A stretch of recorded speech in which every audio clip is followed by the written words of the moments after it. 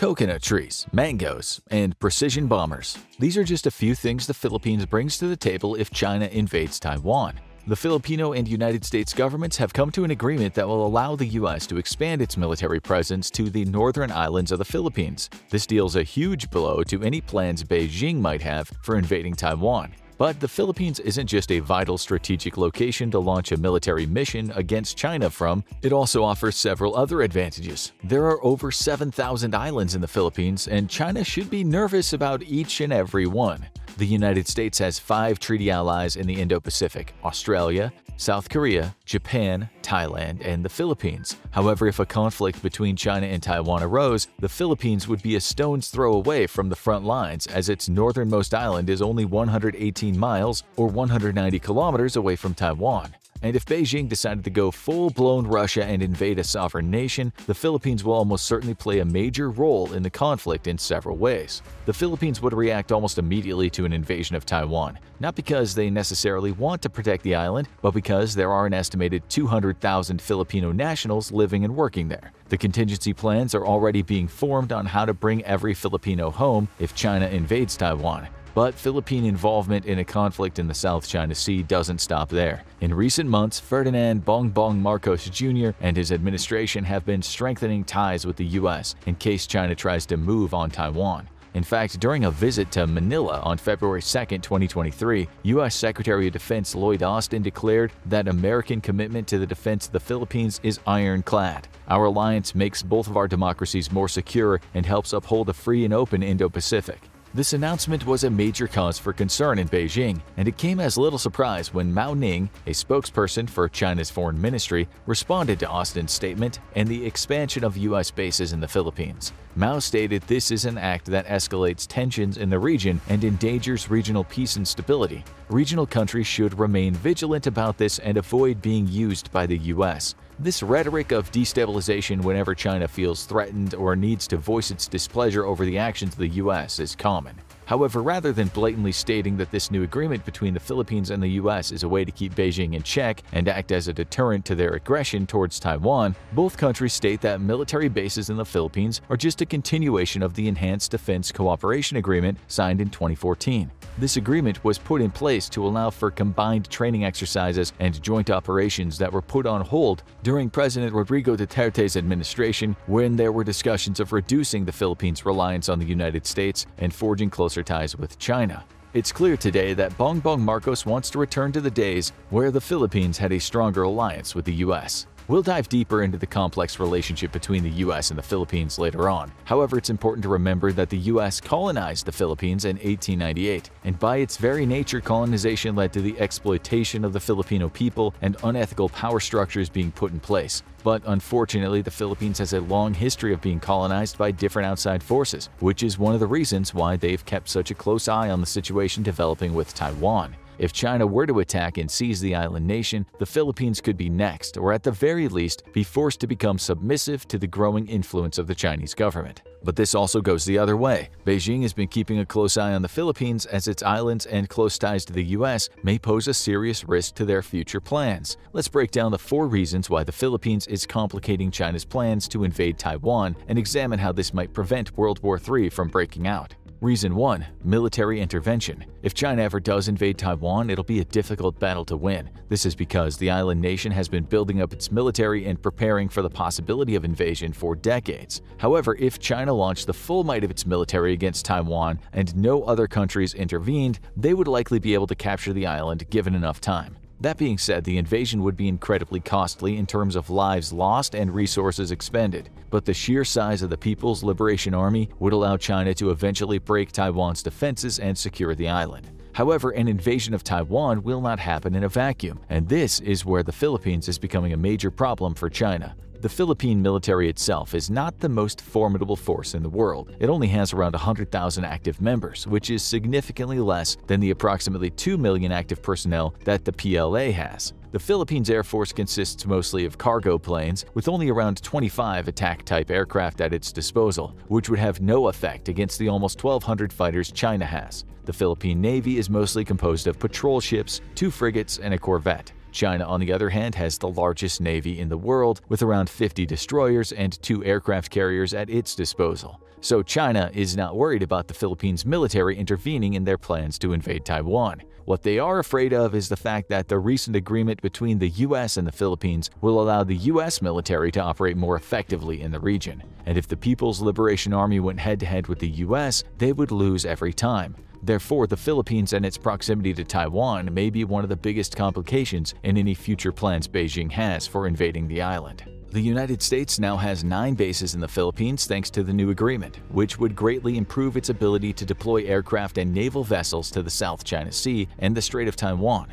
This will improve American resupply and operational capabilities in the region. It's suspected the U.S. forces will immediately begin using these bases for training and equipment storage while simultaneously improving their infrastructure. New runways are being built along with other facilities necessary to strengthen the U.S.'s position. With each new base, China's hopes of securing Taiwan without American intervention is slipping away. There are three main advantages that the new bases in the Philippines give the United States, which are three causes for concern in China. The first is the U.S. military will be able to increase the amount of training they can conduct in the region. It also means that other U.S. allies like Australia, Japan, and South Korea may also be able to join in more training missions as well.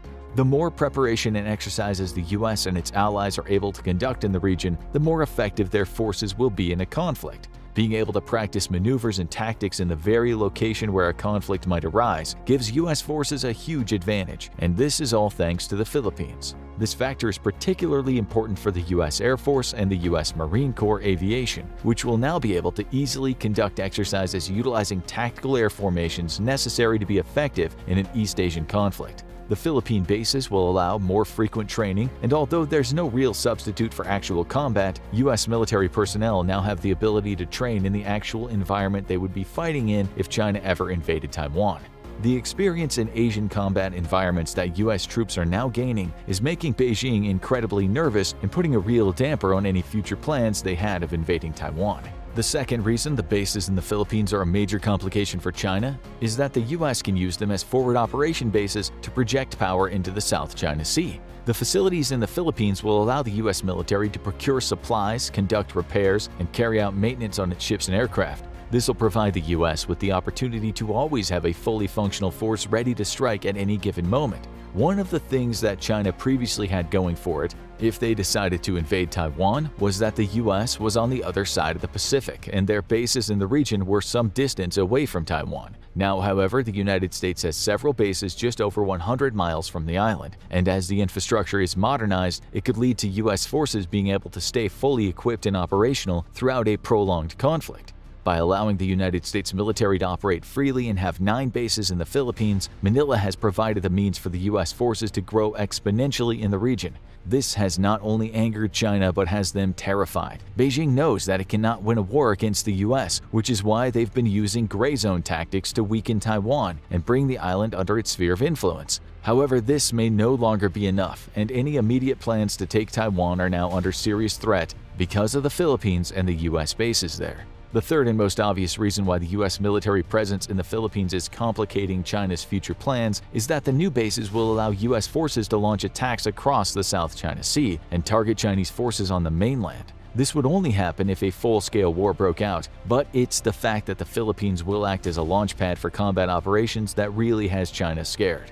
What it comes down to is that China is concerned about the continuously encroaching presence of the United States military in East Asia. Filipino and U.S. forces have already conducted joint combat exercises and disaster training in the Luzon Strait, the body of water that separates the Philippines and Taiwan. But now these exercises come with a new threat for China. The Filipino and US militaries are clearly planning to defend Taiwan, which will be much easier with new bases in the northern Philippine Islands. However, it's worth noting that the Philippine construction prohibits the basing of nuclear weapons within its borders, so at least that's one thing China doesn't have to worry about for the time being. Reason 2. Economic Opportunity it's no secret that China has spread its influence around the world through trade agreements, shipping, and investment in foreign infrastructure projects. Beijing has been able to manipulate leaders, influence decisions, and sway international sentiment thanks to its rapidly growing economy. China's economic might is its main tool for spreading its power across the planet. However, nations that have closely allied themselves with the US, especially in Asia, are a thorn in Beijing's side. The Philippines definitely falls into that category. Over the past decade, China's been the largest foreign investor in the Philippines. However, Chinese companies are still nowhere near as dominant as U.S. companies are in the country. American companies continue to be the top taxpayers in the Philippines and have contributed more over the years than any other nation to its development. That being said, many U.S. companies take advantage of the cheap labor and loose regulations in the Philippines, but just in terms of economic impact, U.S. companies have more invested than China does. During the Duterte administration, China hoped to weaken U.S. influence over the Philippines and control the country through economic means, as it's done with so many other nations. Unfortunately for China, they did not succeed in this endeavor. China still has companies and major investments in the Philippines, but the new administration is clearly looking to strengthen economic ties with the U.S. Manila and Cebu are two major trading centers in the region, and there are huge profits to be made by foreign players who utilize those ports. China is now worried that on top of its military expansion, the United States could use the Philippines to further its economic influence over East Asia. The U.S. has allocated more than $82 million for infrastructure improvements in the Philippines to enhance the access to resources and the capabilities of their bases. This is a huge investment that'll bring jobs and economic growth to communities around the military facilities in the Philippines. This is exactly what China has done in other parts of the world with growing economies. It's allowed them to hold power over other governments and influence their decisions. Unfortunately for Beijing, the Philippines will not be another one of its puppets. China invested heavily in the Philippines over the last decade, and now with a renewed alliance with the United States, their investments won't yield the results they had hoped. It's not out of the realm of possibility that Beijing expected one day to control the Filipino government through trade agreements and debt. Perhaps then China could have swayed Manila to support its claims that Taiwan was its territory. At the very least, Beijing hoped that its economic influence would keep the Philippines out of any conflict that arose in the South China Sea. However, this tactic has clearly not worked, which has the Chinese leadership worried. Reason 3. The Philippines is in a unique position to provide humanitarian aid to Taiwan. In the event that a conflict does erupt in the South China Sea, the Philippines will likely see an influx of refugees. This is not ideal for China's plans, as Beijing likely wants to subjugate the Taiwanese people so that the manufacturing capabilities of the island can be maintained once the invasion is complete. Taiwan manufactures over 60% of all semiconductors in the world. This has resulted in the small island becoming an economic powerhouse. However, the fact that the Philippines is so close to Taiwan and Manila has shown in the past that they're willing to take in refugees, Beijing may be nervous that unless they can blockade the entire island of Taiwan, huge amounts of talent and manpower will flee to the Philippines. If China attacks, there will be a mass exodus of Filipino nationals back to their homeland. With them will also come millions of refugees. Taiwan has a population of around 23.35 million people. It's very likely that much of that population who tries to flee will escape to the Philippines. There's also the fact that the United States military will be stationed in the Philippines to help with the refugee crisis and offer aid, housing, and services to those fleeing the Chinese invasion.